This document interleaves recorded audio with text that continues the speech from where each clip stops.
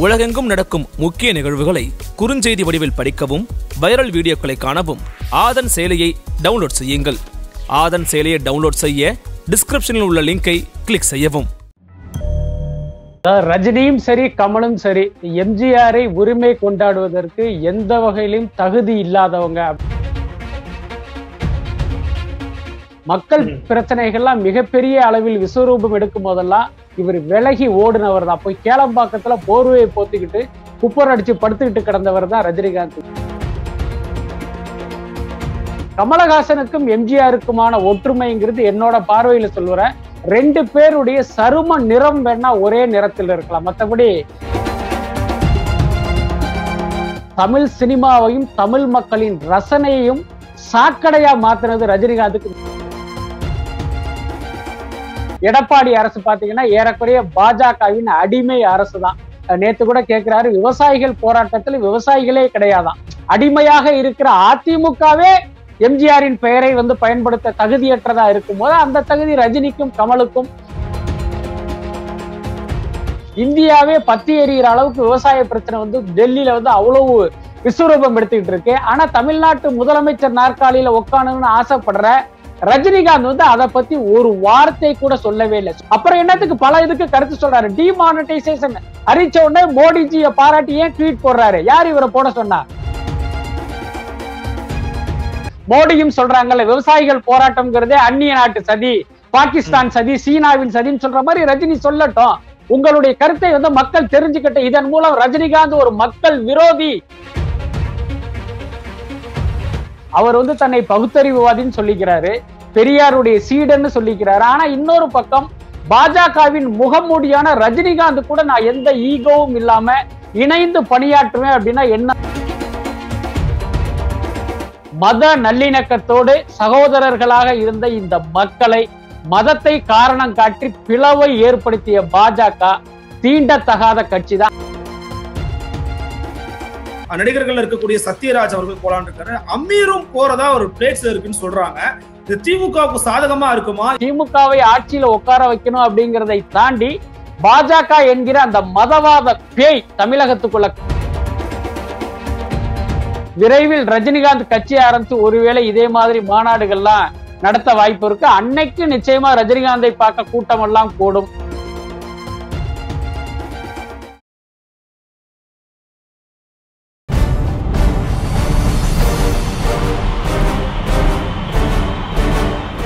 தமிழின் number one அரசியல் YouTube சேனலான ஆதன் தமிழ் நேர்களுக்கு அன்பு வணக்கங்கள். இன்று நம்முடைய ஆதன் தமிழின் கொடி பறக்குது நிகழ்ச்சி நடந்திருக்கக்கூடிய சிறப்பு விருந்தினர் பத்திரிகையாளர் மரியாதைக்குரிய திரு. ஜே. பிஸ்மி அவர்கள். வாருங்கள் அவரோட ஒரு சிறப்பு நேர்காணல். ஆஹ் பிஸ்மினா வணக்கம். வணக்கம். எப்படி இருக்கீங்க? நல்லா இருக்கீங்களா? நல்லா இருக்கேன். தொடர்ந்து சினிமாக்காரங்க அரசியலுக்கு வர்றதுனால என்னால உங்ககிட்ட அதை பத்தி பேசாம இருக்க முடியல. ஏன்னா நீங்க ரொம்ப அதுல ஆழமான நிபுணத்துவம் பெற்றோர் அப்படிங்கிற அடிப்படையில சமீபத்துல கட்சி துவங்குவதாக அறிவித்திருக்கக்கூடிய ரஜினிகாந்த் முதற்கொண்டு ஏற்கனவே கட்சி ஆரம்பித்து தேர்தல்களில் களம் கண்டு தற்போது தேர்தலில் களம் காணவிருக்கக்கூடிய கமலஹாசன் வரைக்கும் நாங்க எம்ஜிஆருடைய வாரிசுகள் தான். நான் வந்து எம்ஜிஆர் ஆட்சியை கொடுப்பேன் அப்படின்னு ரெண்டு பேருமே பேசிக்கிட்டு இருக்காங்க. ஆனா ரெண்டு பேருமே திராவிட கட்சிகளின் ஆட்சியை ஒழிப்போம் திராவிட கட்சிகளுக்கு மாற்று நாங்க தான் அப்படின்னு பேசினவங்க தான். ஆனா ஒரு திராவிட கட்சியை சேர்ந்த ஒரு தலைவருடைய ஆட்சியை கொடுப்பேன் அவரோட வாரிசு நானு அப்படின்னு ரஜினி கமல் ரெண்டு பேருமே சொல்வதை நீங்க எப்படி பாக்குறீங்க? இதுக்கு என்ன காரணம் நீங்க நினைக்கிறீங்க? அதாவது ரஜினியும் சரி கமலும் சரி எம்ஜிஆரை உரிமை கொண்டாடுவதற்கு எந்த வகையிலும் தகுதி இல்லாதவங்க அப்படிங்கிறத நான் இந்த இடத்துல பதிவு பண்ணிக்க ஆசைப்படுறேன். என்ன காரணம் அப்படின்னா இவங்க மூணு பேருக்குமான ஒரே ஒற்றுமை என்னன்னா மூணு பேருமே சினிமாவிலிருந்து அரசியலுக்கு வந்தவர்கள். அப்படிங்கிறத தாண்டி வந்து வேற எந்த ஒற்றுமையே ஒற்றுமையுமே கிடையாது. என்ன? இப்ப நீங்க எம்ஜிஆரை வந்து இவர்களிடமிருந்து நம்ம வந்து தனித்து தான் பார்க்கணும். என்ன காரணம் அப்படின்னா எம்ஜிஆர் பிரபல நடிகராக இருந்த போதும் சரி அரசியல்வாதியாக இருந்த போதும் சரி முதலமைச்சராக இருந்த போதும் சரி அவர் மக்களுக்கு வந்து நெருக்கமா இருந்தார். அது வந்து ரொம்ப முக்கியமான விஷயம். நீங்க ரஜினிகாந்தை யோசிச்சு பாருங்க. கடந்த காலங்கள்ல அவர் நடிகராக இருக்கும்போது எத்தனை தர மக்களோட அவர் இருந்திருக்காரு.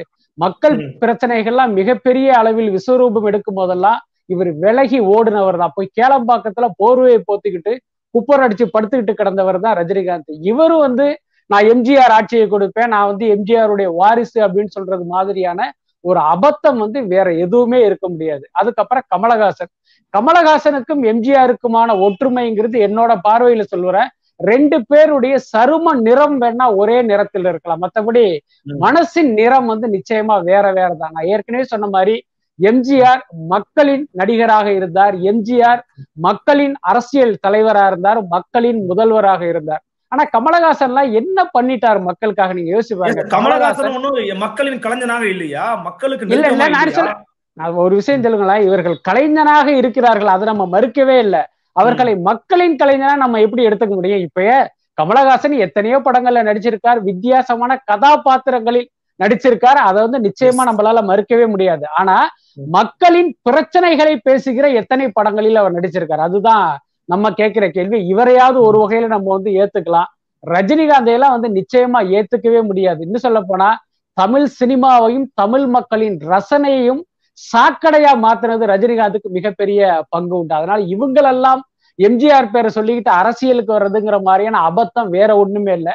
அதுக்கு முக்கியமான காரணமா நான் என்ன நினைக்கிறேன் அப்படின்னா இன்னைக்கு ரஜினிகாந்த் நாற்பது வருஷமா சினிமாவில் இருந்து சூப்பர் ஸ்டார் என்றாலெல்லாம் புகழப்பட்டாலும் அந்த புகழ் வெளிச்சம் அரசியலில் அறுவடை பண்றதுக்கு பத்தாது அப்படிங்கிற ரியாலிட்டி ரஜினிகாந்துக்கு புரிஞ்சிருக்கு. அதாவது ரஜினி என்கிற அந்த வெறுமனே அந்த இமேஜை மட்டும் வச்சு நம்மளால ஓட்டு வாங்க முடியாதா அப்படிங்கிறதுனால தான் எம்ஜிஆர் ஏன்னா எம்ஜிஆருடைய புகழ்ங்கிறது இன்னும் நிலைச்சிருக்கு அது மங்காம இருக்கு அப்படின்னு இவங்க நம்புறாங்க. அதனால அந்த பிம்பத்தை பக்கத்துல வச்சுக்கிட்டு ஓட்டு வாங்கிடலாம் அப்படின்னு கனவு காண்றாங்க. இவர்களுடைய கனவு பழிக்காது அப்படின்னு தான் நான் நினைக்கிறேன். இல்ல இப்போ எம்ஜிஆர அவங்க வந்து கிரெடிட்ஸா எடுத்துக்கிறதுக்கோ எம்ஜிஆர் துணைக்கு அழைத்துக் கொள்வதற்கோ வந்து தகுதி இல்லைன்னு எப்படி சொல்லிட முடியும்? பாஜகவினர் கூட தங்களுடைய ஒரு சில வீடியோக்களை எம்ஜிஆரோட புகைப்படத்தை பயன்படுத்துறாங்க. அவர் ஆன்மீகத்துக்கு நெருக்கமா இருந்தவருங்க.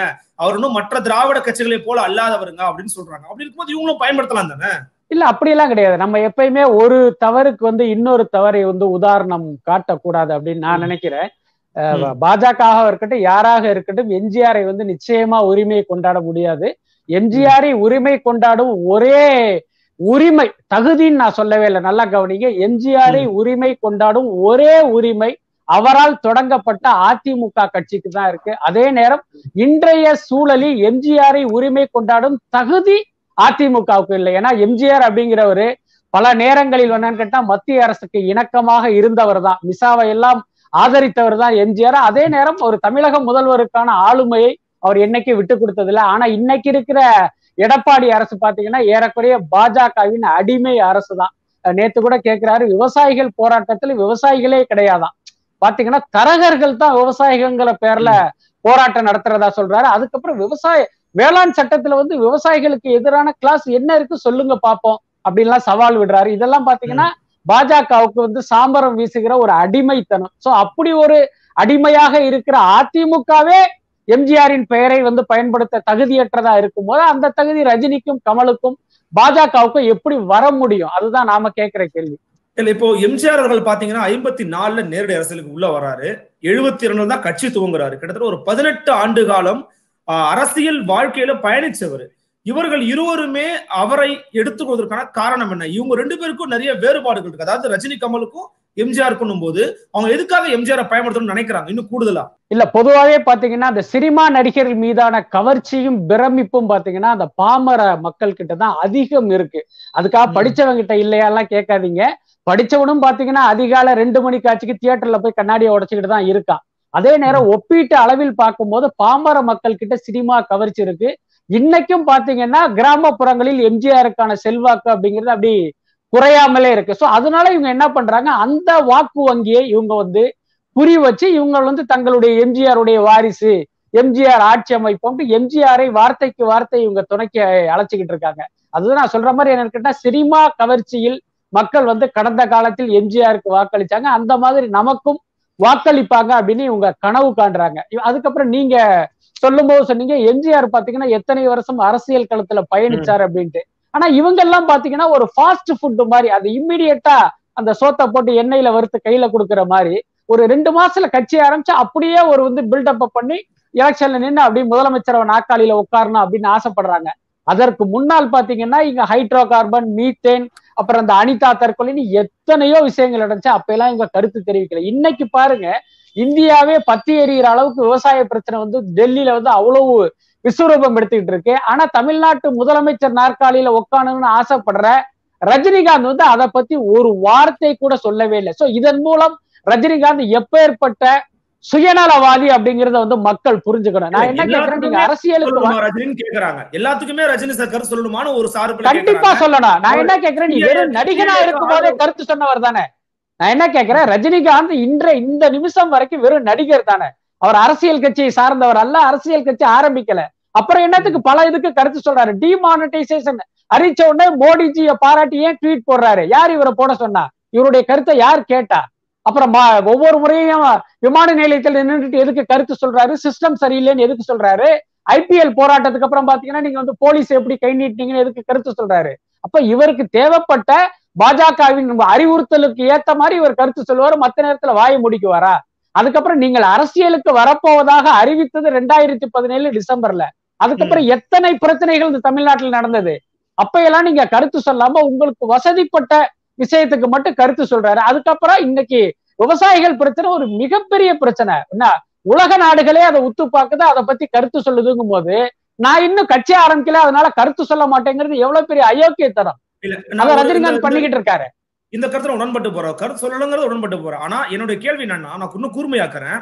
உங்களுக்கு கருத்து சொல்லல அப்படிங்கறது பிரச்சனையா?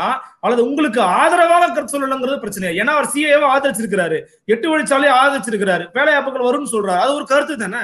இல்ல நிச்சயமா. ரஜினி வந்து விவசாயிகளுக்கு ஆதரிச்சு கருத்து சொல்லணும்னு நாம எதிர்பார்க்கல. ரஜினி அப்படிப்பட்ட மனிதர் அல்லங்கிறது நமக்கு தெரியும். என்னன்னா எல்லா காலங்களிலும் மக்கள் பிரச்சனைக்கு எதிரான நிலைப்பாடை எடுத்தவர் தான் ரஜினிகாந்த். இன்னைக்கும் ரஜினியின் நிலைப்பாடு என்பதை விவசாயிகளுக்கு எதிரானதாகத்தான் இருக்கும். ஏன்னா ரஜினிகாந்த் வந்து மக்கள் எழுச்சி போராட்டத்தையே அவர் ஏதோ ஒரு தீவிரவாத செயல் மாதிரி கடந்த காலங்கள்ல சித்தரிச்சுக்கிட்டு இருக்காரு. நிச்சயமா ரஜினிகாந்த் விவசாயிகள் போராட்டத்தை அப்படித்தான் நினைப்பார். அதுல மாற்றமே கிடையாது. நான் என்ன கேட்கிறேன் அப்படின்னா அதுதான் உங்களுடைய கருத்துனா அதை நீங்க வெளிப்படையா சொல்லுங்க. இன்னைக்கு வந்து எடப்பாடியும் மோடியும் சொல்றாங்கல்ல விவசாயிகள் போராட்டம்ங்கிறதே அந்நிய நாட்டு சதி பாகிஸ்தான் சதி சீனாவின் சதின்னு சொல்ற மாதிரி ரஜினி சொல்லட்டும். உங்களுடைய கருத்தை வந்து மக்கள் தெரிஞ்சுக்கட்டும் இதன் மூலம் ரஜினிகாந்த் ஒரு மக்கள் விரோதி அப்படிங்கிறத மக்கள் தெரிஞ்சுக்கட்டும். அந்த வாய்ப்பை கொடுக்க கூடாது அந்த வாய்ப்பை மக்களுக்கு வந்து நம்மளுடைய முகத்தை வந்து காட்டிடக்கூடாது. அது நம்மளுடைய வாக்கு வங்கியை பாதிக்குங்கிறதுனால சாமர்த்தியமா ரஜினிகாந்த் அமைதியா இருக்காருன்னு தான் நான் குற்றம் சாட்டுறேன். இல்ல இப்ப வரைக்கும் பாத்தீங்கன்னா ரொம்ப ரொம்ப சாமானிய மக்கள் பாட்டாளி மக்கள் தான் ரஜினிகாந்த் அவர்களுடைய ரசிகர்களா இருக்கிறாங்க அவர் தொண்டர்களா இருக்கிறாங்க ரஜினி மக்கள் மன்றத்தில் இருந்துகிட்டு இருக்காங்க. அப்படி இருக்கும்போது எப்படி அவர் வந்து ஒரு மக்கள் விரோதி அப்படின்னு ஒரு காட்டமான விமர்சனத்தை முன்வைக்க முடியுது உங்களால?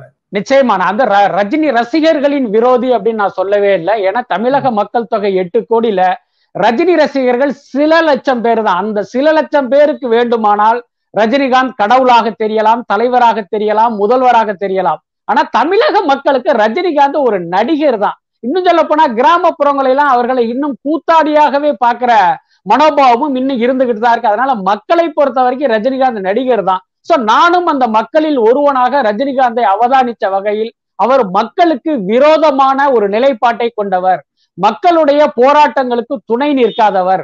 மக்களை இவர் தீவிரவாதிகளாக பார்க்கிறவர் என்ற அடிப்படையில் நான் இவரை மக்கள் விரோதி அப்படின்னு சொல்றேன். இன்னைக்கு பாஜக அரசு மக்களுக்கு எதிரான திட்டங்களை தொடர்ந்து செயல்படுத்திக்கிட்டே இருக்கு. அப்போ பாஜகவை நான் மக்கள் விரோத ஆட்சின்னு சொல்றான் அதே மாதிரி ரஜினி என்கிற மனிதனை நடிகனை மக்கள் விரோதின்னு சொல்றேன் இதுல என்ன தவறு இருக்க முடியும்னு நான் கேட்கிறேன் இப்ப சமீபத்துல பாத்தீங்கன்னா நீங்க சொல்வதை கூட நம்ம ரஜினி அவர்களுக்கு பொருத்தி பார்த்தா இன்னொரு பக்கம் கமலஹாசன் இருக்கிறாரு. அவர் தன்னை ஒரு பகுத்தறிவுவாதியாக ஒரு முற்காலத்தை சொல்லி கொண்டவர். அதன் பிறகு இப்ப பெரியாரே ஒரு பக்கம் கையில் எடுக்கிறாரு இன்னொரு பக்கம் சூரப்பாவுக்கு ஆதரவு கொடுக்கிறாரு. நான் வந்து காந்தியோட பி டீம் தாங்க. பாஜக பாஜகவின் பி டீம் இல்லைங்கிறாரு. அவரை நீங்க எப்படி பாக்குறீங்க? கமலும் ரஜினியும் எம்ஜிஆருக்கு பிறகு பெரும் நடிகர்கள் ஜொலிக்காத போது இவர்கள் ஜொலிப்பார்கள் நீங்க நம்புறீங்களா தமிழக அரசியல் களத்துல? இல்ல நிச்சயமா. கமல் ரஜினி எந்த நடிகருக்குமே இனி தமிழ்நாட்டு அரசியலில் இடமில்லை. அதை ரெண்டாயிரத்தி இருபத்தொன்னு சட்டமன்ற தேர்தல் முடிவுகள் வந்து நிரூபிக்கும். நேத்து கூட ஒரு காணொளி பார்த்தேன். ஒரு கருத்து கணிப்பு நிபுணர் துக்லக் இதயா அவர் பாத்தீங்கன்னா பல கருத்து கணிப்புகளை நூறு சதவீதம் சரியாக கணித்த ஒரு பத்திரிகையாளர். அவர் வந்து ரஜினியின் அரசியல் கட்சி அறிவிப்புக்கு பிறகு வந்து பல மாவட்டங்கள்ல சர்வே எடுத்திருக்காரு. அந்த சர்வே முடிவுகள் என்ன சொல்லுது அப்படின்னா ரஜினிகாந்துக்கு ஆறு முதல் ஒன்பதரை சதவீத வாக்குகள் தான் கிடைக்கும் அப்படின்னு வந்து. உறுதியா சொல்லுது. அது நூறு சதவீதம் பலிக்கல அப்படின்னாலும் ஓரளவுக்கு நம்ம அதையே ஒரு அளவுகோலா எடுத்துக்கிட்டா ரஜினியால் அதிகபட்ச பத்து முதல் ஒரு பன்னெண்டு சதவீத வாக்குகள் தான் வாங்க முடியும் இதை வச்சுக்கிட்டு தமிழ்நாட்டுல ஆட்சியை பிடிக்க முடியாது. அதுதான் சொல்ல வரேன். அந்த அந்த. சர்வே முடிவே என்ன சொல்லுது அப்படின்னா ரஜினிகாந்த் ஒருவேளை போட்டியிட்டால் அவர் ஒருவர் மட்டுமே வெற்றி பெற வாய்ப்பு இருக்கு. ஏன்னா ரஜினிங்கிற விஜயகாந்த் எப்படி வெற்றி பெற்றாரோ அந்த மாதிரி. ரஜினிகாந்த் மட்டும் ஜெயிக்க வாய்ப்பு இருக்கு. மத்தபடி இருநூத்தி முப்பத்தி நாலு தொகுதியிலும் அந்த கட்சிக்கு டெபாசிட் கூட கிடைக்காது அப்படிங்கிற மாதிரி தான் சொல்றாங்க. ஏறக்குறைய இதுதான் நடக்க போகுது. அதுல வந்து எந்த சந்தேகமே கிடையாது.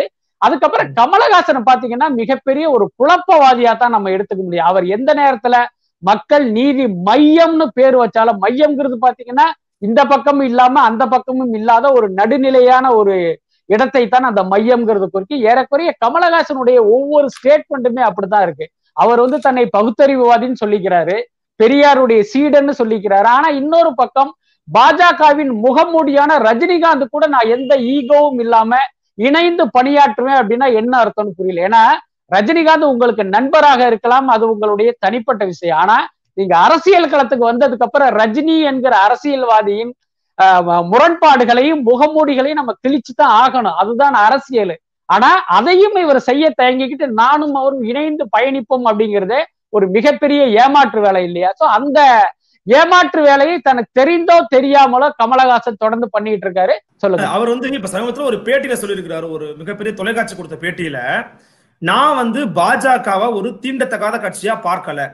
நான் யாரையுமே எதிரியா நினைக்கல. ஏன்னா நம்ம ஆட்சிக்கு வந்தோம்னா மத்திய அரசு கூட ஒரு சுமூகமான உறவு இருக்கணும். நட்புறவு பேணப்படணும். அப்படி இருந்தாதான் நமக்கு தேவையான உரிமைகள் நமக்கு தேவையான வசதிகள் செஞ்சு தரப்படும். அதனால யாரும் எதிரியா பார்க்க மாட்டேங்கிறார். இதுல என்ன தப்பு இருக்கு? மக்கள் இதை விரும்ப மாட்டாங்களா? ஏற்க மாட்டாங்களா? இப்ப நான் கேட்கிறேன் இப்ப கேரளாவுக்கு பாத்தீங்கன்னா மத்திய அரசினுடைய உதவிகள் மத்திய அரசு கொடுக்க வேண்டிய அஹ், விஷயங்கள்லாம் பண்ணாம இருக்காங்களா? இல்ல மேற்கு வங்கத்துக்கு பண்ணாம இருக்காங்களா? அல்லது எதிர்க்கட்சிகள் ஆகிற மாநிலங்களுக்கெல்லாம் மத்திய அரசு வந்து அவங்களுடைய இதை செய்யாம இருக்காங்களா என்ன? அதுக்காக மத்திய அரசுடைய காலை புடிச்சு அண்டி பொழைச்சுதான் நீங்க வந்து ஒரு ஆட்சி நடத்தணுமா அதெல்லாம் ஒண்ணுமே அவசியம் இல்லை. இதுவும் கூட கமலஹாசனுக்கு பாத்தீங்கன்னா ஒரு அரசியல் தெளிவு இல்லை அப்படிங்கிறத தான் காட்டுது. கடந்த காலங்களில் பாத்தீங்கன்னா கருணாநிதி ஆட்சி புரிஞ்சிருக்காரு ஜெயலலிதா புரிஞ்சிருக்காங்க. அவங்க எல்லாம் போய் என்ன மத்திய அரசு கட்டின அடிமையா இருந்த ஆட்சி புரிஞ்சாங்க. அப்படியெல்லாம் கிடையாது. இன்னொன்னு நீங்கள் வந்து மக்களை ஆள்வதற்கு நீங்க இன்னொருத்தங்கிட்ட அடிமையா இருக்கணுங்கிற அவசியமே கிடையாது. சோ இதையெல்லாம் கமலஹாசன் புரிஞ்சுக்கிட்டா நல்லா இருக்கும். அது எல்லாத்துக்கும் மேல உள்ள விஷயம் என்னன்னா கமலஹாசனுக்கு இன்றைக்கு இருக்கும் செல்வாக்கில் அவர் வெற்றி பெற்று சட்டமன்றத்துக்கு வருவதே மிகப்பெரிய விஷயம். அதனால நான் ஆட்சியில இருக்கணும்.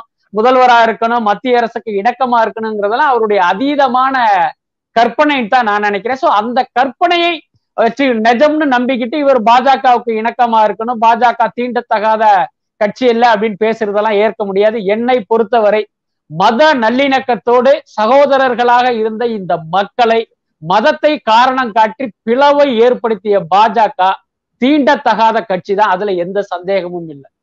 நீங்க கமலை வந்து எனக்கு என்ன ஒரு ஒரு ஊடகவாளர் பார்வையில இளம் ஊடகவாளர் பார்வையில கேள்வி எழுப்ப விரும்புறேன்.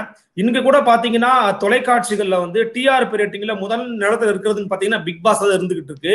பிக் பாஸ் மூலமாக ஏன் ஒரு கட்டத்துல வந்து அதனுடைய கோட் சூட்ல வந்து மக்கள் இது மையத்துக்கான ஒரு லோகோவே போட்டு கூட ஒரு களத்துக்குள்ள வந்து பேசுறத பார்க்க முடிஞ்சுது. அப்படின்னும் போது கமல் ஊ- ஊடகம் மூலமாக கிராமங்கள் தோறும் ஒவ்வொரு வீடு தோறும் போய் சேர்ந்திருக்கிறார் அப்படின்னா கமல் மக்களுக்கு ஒரு நெருக்கமான ஒரு பரிச்சயமான முகமா தானே இருப்பாரு. அவர் வந்து முழுமையா தோல்வி அடைஞ்சிருவாரு ஒரு அதீத நம்பிக்கையில இருக்கிறாருன்னு சொல்றது எப்படி ஏத்துக்க முடியும்? இல்ல நீங்க பாத்தீங்கன்னா கடந்த நாடாளுமன்ற தேர்தல்ல கமலஹாசனுடைய மக்கள் நீதி மையம் கட்சிக்கு கிடைச்சது பாத்தீங்கன்னா நாலு சதவீதத்துக்கும் குறைவான வாக்குகள் தான். அதை கூட நம்ம எப்படி பார்க்கலாம் அப்படின்னா இது வந்து நாடாளுமன்ற தேர்தல். யார் பிரதமர் அப்படிம்ப அப்படி என்பதை நிரூபிப்பதற்கான தேர்தல். அதனால கமலஹாசனுக்கு இந்த வாக்குகள் கிடைச்சது அப்படின்னு கூட நாம எடுத்துக்கலாம். சோ இப்ப நடக்க போற சட்டமன்ற தேர்தல்ல கமலஹாசனுக்கு கூடுதலாக வாக்குகள் கிடைக்கலான்னு கூட நம்ம எடுத்துக்கலாம். சோ அப்படி பாத்தீங்கன்னா ஏற்கனவே வாங்கின நாலு சதவீதத்தை விட கூடுதலாக ஒரு நாலு சதவீதம் கமலஹாசனுக்கு கிடைக்க வாய்ப்பு இருக்கு. ஆனா இப்ப வர்ற கருத்து கணிப்பு அடிப்படையில் அவரை விட சினிமாவில் மிகப்பெரிய இடத்தில் இருக்கிற ஒரு மாஸ் ஹீரோவான ரஜினிகாந்துக்கே ஆறில் இருந்து பத்து சதவீதக்குள்ளே அப்படிங்கும்போது கமலஹாசனுக்கு வந்து எட்டு சதவீதம் கிடைக்குன்னு சொல்றதே நம்மளுடைய ஒரு நம்பிக்கை ஒரு ஒரு- ஒரு யூகமா தான் அதை நம்ம எடுத்துக்க வேண்டியது இருக்கு. அதுக்கப்புறம் இவர் பிக் பாஸ் மூலமா வந்து மக்கள் கிட்ட எல்லாம் சென்றடைஞ்சிட்டாரு அப்படின்னு சொல்றதை விட அவர் ஏற்கனவே நடிகரா வந்து கிராமத்துல உள்ள மக்கள் வரை சென்றடைந்தவர் தான். கமலஹாசனுக்கு ஒண்ணு பிக் பாஸ் ஒண்ணு ஒரு புதிய புகழை எல்லாம் கொடுத்துடல. இப்ப நான் கூட. பிக் பாஸ் தொடர்ந்து பாக்குறேன் அதனால நான் கமலஹாசனுக்கு ஓட்டு போட்டுருவேன்னு அர்த்தமே அந்த மாதிரி கிடையாது. தொலைக்காட்சி நிகழ்ச்சி என்பது ஒரு பொழுதுபோக்கு நிகழ்ச்சி. அவ்வளவுதான். அங்கே கமலஹாசன் தொகுத்து வழங்காம இன்னொரு யாரோ ஒரு நடிகர் தொகுத்து வழங்கினாலும் நிச்சயமா பிக் பாஸ பார்க்கத்தான் போறாங்க. உதாரணத்துக்கு ஆந்திராவுல கூட பிக் பாஸ் இருக்கு பாலிவுட்ல இருக்கு எல்லா மொழிகள்லயுமே பிக் பாஸ் வருது. எல்லா இடத்துலயும் கமலஹாசனா தொகுத்து வழங்குறாரு. இல்லையா அங்கங்க பிரபலமா இருக்கிற நடிகர்கள் தொகுத்து வழங்குறாங்க மக்கள் மக்கள் வந்து மக்கள் நிகழ்ச்சி வேற அரசியல் வேறன்னு வகுத்து பாக்குறாங்கன்னு சொல்ல வரீங்க அப்போ. நிச்சயமா அதுல மாற்றமே கிடையாது. அதனால பிக் பாஸை பார்ப்பதனால் கமலஹாசனுக்கு ஓட்டு விழுவும்லாம் சொல்ல முடியாது. இன்னும் சொல்ல போனா கமலஹாசனே பாத்தீங்கன்னா ஒவ்வொரு முறை ஒரு போட்டியாளரை வெளியேற்றும் போது இவர் காப்பாற்றப்பட்டார். இவர் வெளியேற்றப்பட்டாருக்கும் போது இப்ப அவர் ஒரு டேட்டா சொல்லுவாரு. இவரை வந்து இந்த பிக் பாஸ் வீட்டிலேயே தங்குறதுக்காக மக்கள் வந்து இத்தனை கோடி பேர் ஓட்டு போட்டிருக்காங்க. நாலு கோடி பேர் போட்டிருக்காங்க அஞ்சு கோடி பேர் போட்டிருக்காங்கலாம் அடிச்சு விடுவாங்க. சோ அதெல்லாம் வாக்குகளா மாறுமா என்ன? அப்படி மாறினா கமலஹாசன் தமிழக முதல்வர் மட்டும் இல்ல இந்தியாவின் பிரதமராகவே ஆயிடலாமே. சோ அதெல்லாம் சும்மா. அதற்கும் வாக்கு இதுக்கு சம்மந்தம் இல்லைன்னு தான் நான் நினைக்கிறேன். இறுதியா ஒரு கேள்வி. திராவிட முன்னேற்ற கழகத்தின் கூட்டணி ரொம்ப வலிமையா இருந்துகிட்டு இருக்காங்க. நம்மளால பார்க்க முடிகிறது. அந்த அடிப்படையில திமுகவிற்காக பிரச்சாரம் செய்வதற்கு இந்த முறை கருத்தியல் ரீதியாக உணர்வு சார்ந்து அறிவு சார்ந்து இயங்கக்கூடிய நடிகர்கள் வந்து போய் வாக்குகள் சேகரிக்க தயாரா இருக்கிறாங்க. மிக குறிப்பாக கரு பழனியப்பன் போகலான் இருக்காரு. நடிகர்கள் இருக்கக்கூடிய சத்யராஜ் அவர்கள் போலான் இருக்காரு. அமீரும் போறதா ஒரு பேச்சு இருக்குன்னு சொல்றாங்க. இது திமுகவுக்கு சாதகமா இருக்குமா? இதை பற்றி உங்களுடைய பார்வை என்ன? உங்க கிடைத்த செய்தி என்ன? இல்ல நான் விசாரிச்ச வகையில பாத்தீங்கன்னா இது எதுவுமே உறுதிப்படுத்தப்படாத தகவல்கள் தான் இப்ப அமீர் வந்து. திமுகவுக்கு பிரச்சாரம் பண்றாரு சத்யராஜ் பண்றாரு கருப்பழனியப்பன் பண்றாருன்னா சமூக ஊடகங்கள்ல தொடர்ந்து செய்திகள் வந்துகிட்டு இருக்கு நான் சில தினங்களுக்கு முன்பு கூட இயக்குனர் அமீர் கிட்ட பேசிக்கிட்டு இருந்தேன் பட் அவருக்கு வந்து அந்த மாதிரியான எண்ணம் எதுவும் இருப்பதாக அவருடைய பேச்சில் இருந்து நான் புரிஞ்சுக்கிட்டேன். அப்படி ஒரு இல்ல ரொம்ப நெருக்கமா இருந்தாரு. அண்ணன் சீமானுக்காக இல்ல, இல்ல. அதுதான் சொல்ல வரேன். அவர் வந்து சீமானுக்கு மிக நெருக்கமானவர் தான். அதே நேரம் நாம் தமிழர் கட்சியின் அனைத்து கொள்கைகளிலும் உடன்பட்டவர் கிடையாது. அமீர். ஏன்னா நாம் தமிழர் கட்சியிலும் சரி சீமானுடைய கொள்கையிலும் பல வகையில் வந்து முரண்பட்டவர் தான் அமீர். அது எனக்கு நல்லாவே தெரியும். அதனால நிச்சயமா அமீரின் ஆதரவு நாம் தமிழர் கட்சிக்கு இருக்காது. அதே நேரம் திமுகவுக்கு இருக்கும் அல்லது நான் திமுகவுக்கு பிரச்சாரம் பண்ணுவேங்கிற தொனியும் வந்து அவருடைய பேச்சுல தெரியல. அதுக்கடுத்து கருப்பழனியப்பன் உங்களுக்கு தெரியும் அவரும் திராவிட இயக்க சிந்தனை உள்ள ஒருத்தர் தான். சோ அவரு. திமுகவுக்கு பிரச்சாரம் பண்ணுவதற்கான வாய்ப்புகள் இருக்கு.